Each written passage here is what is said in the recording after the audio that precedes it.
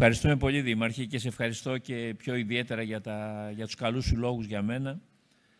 Ε, τώρα θα δώσω στον άλλο Δήμαρχο, τον πληθωρικό Γιάννη, το φίλο μου το Γιάννη, που το μεγάλο του αυτό ταλέντο είναι και μεγάλη απειλή, Γιάννη μου, να διαχειρίζεις σωστά το πληθωρικό σου αυτό ε, κεφάλαιο. Αυτό είναι η συνέχεια μιας συζήτησης που κάνουμε πολλές φορές με τον Σταύρο και συνεχώς με νουθετεί, με συμβουλεύει για να μπορέσω να, να διαχειριστώ καλύτερα τον εαυτό μου. Είναι αλήθεια ότι ο μεγαλύτερος εχθρός του καθενός μας είναι ο δικός μας εαυτός. Ευχαριστώ Σταύρο και ξέρω πολύ καλά ότι όσα μου λες και όσα με συμβουλεύεις είναι πραγματικά με την αγάπη σου η οποία με περιβάλλει. Καλησπέρα σε όλους. Είναι η τρίτη, η τρίτη φάση της παρουσίασης του προγράμματος ανασυγκρότησης. Είναι αλήθεια ότι μετά τον Περιφερειάρχη και τον συνάδελφο τον Γιώργο Τσαπουρνιώτη θα ήταν λίγο στήρο να μιλήσω κι εγώ για έργα, για αντιπλημμυρικά, για εντάξεις, για χρηματοδοτήσεις. Και έτσι όπως παρακολουθήσω τον συνάδελφο, αποφάσισα να σας μιλήσω για αυτό το οποίο κάνουμε εμείς οι δήμαρχοι κάθε μέρα. Ο πρώτος βαθμός αυτοδιοίκησης είναι η ίδια η ζωή η πραγματική ζωή και η αλήθεια είναι ότι είμαστε λόγω της εγκύτητάς μας με τις κοινωνίες πολύ πιο κοντά από κάθε επίπεδο της ελληνικής πολιτείας με την πραγματικότητα. Θα σας αναφέρω λοιπόν δύο παραδείγματα σημερινά. Βρέθηκα στην πρωινή μου επιθεώρηση στα έργα με τον ξάδερφό μου, τον Παναγιώτη από την Τσαπουρνιά. Υπαρκτό πρόσωπο σαφώς.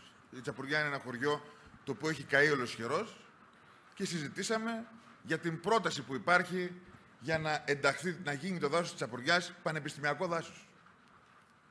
Ο Παναγιώτης, που είναι άνθρωπος της δουλειάς, έχοντας πιστεί ότι αυτό μάλλον είναι μια καλύτερη προοπτική, χωρίς να έχει καταλάβει πολύ καλά τι θα είναι αυτό το πανεπιστημιακό δάσος, έτσι είναι Γιάννη, τα συζητήσαμε τότε μαζί, μου λέει, ας το δεχθούμε εν τέλει να γίνει το δάσος μας πανεπιστημιακό δάσος, αφού έτσι κι αλλιώς κανένας δεν θα μείνει στο χωριό, κανένα παιδί νέο δεν θα παραμείνει για να δουλέψει αυτό το δάσος, αν έστω απομείνουν κανένα δυο παιδιά, να βρει καμιά δουλειά, κανένα μεροκάματο στο δάσος. Το δεύτερο παράδειγμα έγινε, έγινε, είναι ένα περιστατικό το οποίο έγινε στο γραφείο σήμερα.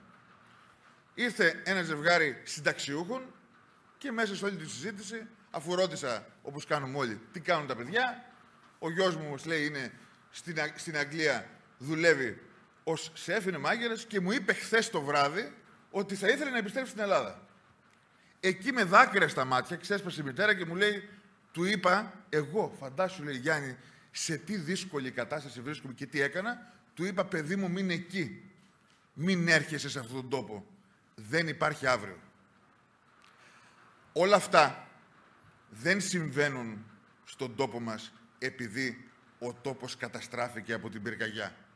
Η πυρκαγιά σίγουρα επιβάρυνε τα πράγματα. Η πυρκαγιά σίγουρα κατέστρεψε το περιβάλλον μας. Η πυρκαγιά σίγουρα άλλαξε όλα τα δεδομένα. Αλλά αυτό που σας λέω αποδεικνύεται και από την δημογραφική αποτύπωση που μας λέει ότι ο πληθυσμός και στους δύο δήμους θα δούμε να μειώνεται ίσως και 20% συνάδελφοι Γιώργο. Τι μας δείχνει αυτό, ότι η πολιτεία διαχρονικά έχει, έχει εγκαταλείψει αυτόν τον τόπο, ότι οι ίδιοι κάτοικοι πλέον δεν πιστεύουν οι περισσότεροι ή δύσκολα πιστεύουν σε αυτόν και οι περισσότεροι, ειδικά οι κάτοικοι των ορεινών χωριών, επιθυμούν, όχι γιατί δεν αγαπούν τον τόπο τους, όχι γιατί δεν πονάνε το μέρος τους, όχι γιατί δεν πιστεύουν ότι η Βόρεια Εύα είναι το ωραιότερο μέρος στον κόσμο. Όλοι εμείς που, που είμαστε από εδώ και ζούμε εδώ αυτό πιστεύουμε απλά γιατί πιστεύουν ότι για μια καλύτερη μέρα τα παιδιά τους πρέπει να φύγουν από εδώ. Είμαι σίγουρος ότι οι περισσότεροι που είναι βορειόδοτες και βρίσκονται εδώ μέσα συμφωνούν μαζί μου. Αυτό λοιπόν, αυτό λοιπόν το οποίο αναδεικνύεται και θα κάνω μια αναφορά αυτή τη στιγμή στην ευθύνη. Για την ευθύνη μίλησα και στο χαιρετισμό μου στην αντίστοιχη διαδικασία όταν έγινε στην ιστία παρουσία του Πρωθυπουργού. Εδώ αναδεικνύεται πραγματικά η ανάγκη ανάληψης ευθύνης. Και η ώρα της ευθύνης δεν σταματά την ώρα της πυρκαγιάς, δεν σταματά στην απόδευση και στην ανάληψη της ευθύνης ή των ευθυνών που πραγματικά υπάρχουν για το ολοκαύτωμα της Βόρειας Εύβοιας. Η μεγάλη ευθύνη για μένα, για σένα συνάδελφε Γιώργο Δήμαρχη και για σένα συνάδελφε Γιώργο Αντιπεριφερειάρχη, είναι να καταφέρουμε όλη αυτή την διαδικασία της σύνταξης του προγράμματος ανασυγκρότησης, που για πρώτη φορά στον τόπο μας, με αυτόν τον τρόπο ο οποίος για πολλούς μπορεί να φάνηκε εξωθεσμικός. Ή να, ή να φαντάζει ότι μπορεί να είναι εξωπραγματικός ή δύσκολος γιατί γίνονται πολύ, πολύ ωραίες διαβουλεύσεις και κουράζουν αυτούς που συμμετέχουν, ακόμη και εμάς που ταλανιζόμαστε από την πραγματικότητα και από την καθημερινότητα πάρα πολύ δύσκολα κάθε μέρα. Η αλήθεια είναι ότι ήρθε η ελληνική πολιτεία μέσα από το διάζωμα και το Σταύρο τον Μπαίνο με χρήματα τα οποία διέθεσαν οι χορηγοί. Δεν μας αφορά αυτό. Το λέω και αυτό γιατί γίνεται μεγάλη κουβέντα και γύρω από αυτό.